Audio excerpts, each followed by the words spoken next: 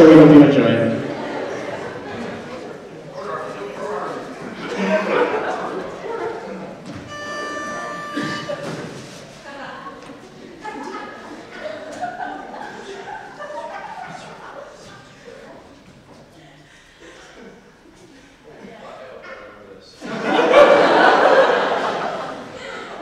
I'd just like to apologize for the excessive use of, of the fuck word tonight. It's a fucking outrage. Johnny, you want to come up? Okay.